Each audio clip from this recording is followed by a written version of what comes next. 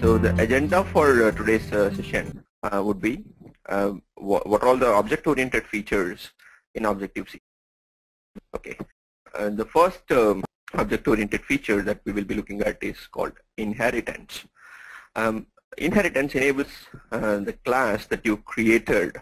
Uh, you don't need to basically reuse, rewrite these classes where by using the inheritance property, you'll be able to actually use uh, the classes that you have created already. And mm, the, typically, the classes from which uh, you inherited is called a base class. And the class where you are uh, actually inheriting is called a derived class. Uh, in the case of Objective-C, uh, the actual inheritance, the way in which you declared an inheritance is at interface is the actual uh, header file declaration that you, we usually have, derived class followed by a semicolon followed by a base class. Um, a derived class, uh, uh, the inheritance has some access control. Um, and let's look at what all access control that a derived class provides. Uh, the derived class can access all the private members of its base class if its definition uh, defined in the interface uh, class, but it cannot access the private members that are defined in the implementation file. So we will see an example so that you can understand it better. Um, the derived class basically inherits all the base, class, base classes methods and variables with the following exception. Uh, the variable declared in the implementation file uh, with the help of uh, extension is not accessible the method declared in implementation file with the help of extension is not accessible. Uh, in case the inherited class implements a method in the base class, then the method in the derived class is executed.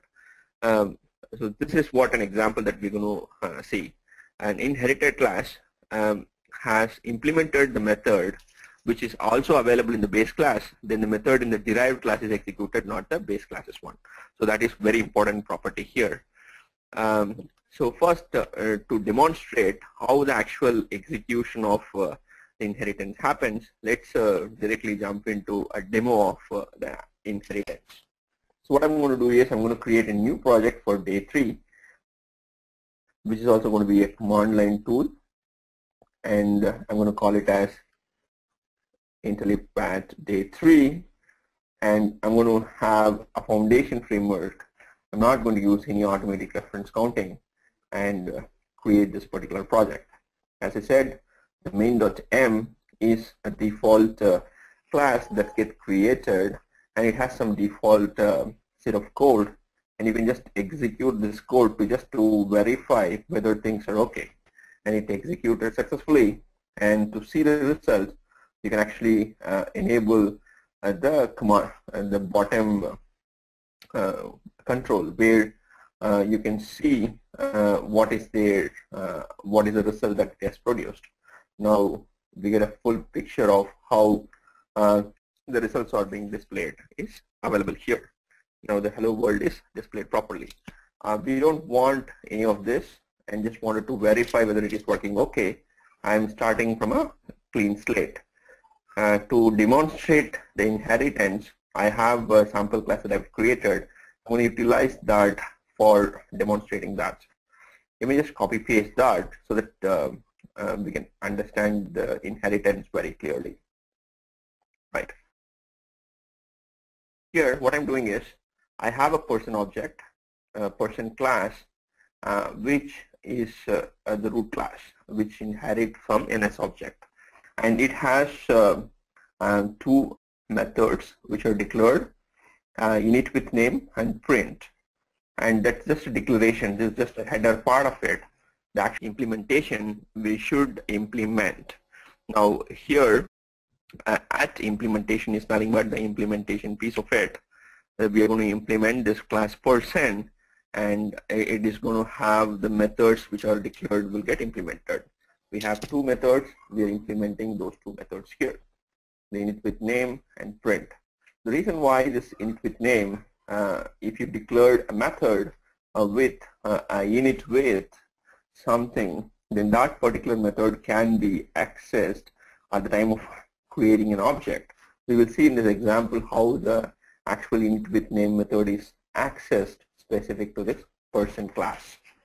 Now this particular class is entered here. Now I'm going to create an employee class. This employee class basically this syntax represents that I'm creating an employee class which inherits the details from the person class which inherits the details from the person class. This being the case so everything that you have all the methods members you have on the person class can be accessed from the employee class. That is what this uh, inheritance actually uh, enables us now here I'm having just a string employee education. As a new string I'm declaring we have not looked at NSString yet but just consider that it's just a representation of a string. And here once again I'm writing the same method. Here the declaration there is no other declaration is there but the actual declaration is available only in the person class for this method init with name and age and the same method without any declaration uh, we will be able to actually directly um, you know uh, write the method definition. There is method declaration for two methods. One is print which is exactly same as the print method that is that is being declared here. And another method init with name and age and the education is what is available in this uh, particular person class. Now these two methods are declared here and from the implementation point of view, we'll be implementing these two methods that we have created. Okay, now uh, we have two class. One class is person, then another class is employee, which inherits the person. And both of them, if you look, has the same method called print, but has a different init with um, method, only two parameters the second one has three parameters. Now let's look at uh, an object creation. Now um, here for the person class, for the person class is the root class that we looked at, you can create an object. I'm creating an object called person, alloc, and as I mentioned, in the case of, in this case, uh, we have a method explicitly uh, declared called init with name method I'm going to directly use that method for initializing this particular person class. So when this particular line of statement executed, an object will get created called person and it already has this method init with name method called with two parameters being passed Raj and 5 being passed and these two information the when I call from person print that particular method which is available in the person class will get printed. And we will see that in a minute.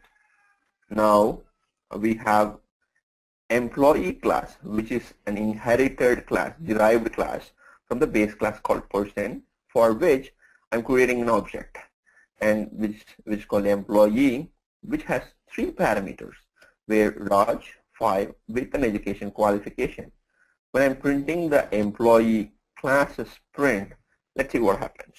When I execute this method, you can see that the, the print available in the base class, when I'm calling, the actual uh, print on the base class gets printed. But when I'm calling the print from the derived class, then the method available on the derived class only gets called. The print on the derived class is getting print. So th this, this is a property of how an inheritance actually works. You have the same method uh, signature available on both the base class as well as on the derived class. Then only the derived class method will get executed. That's what is being proven. And that's what is being proved in part of this uh, execution.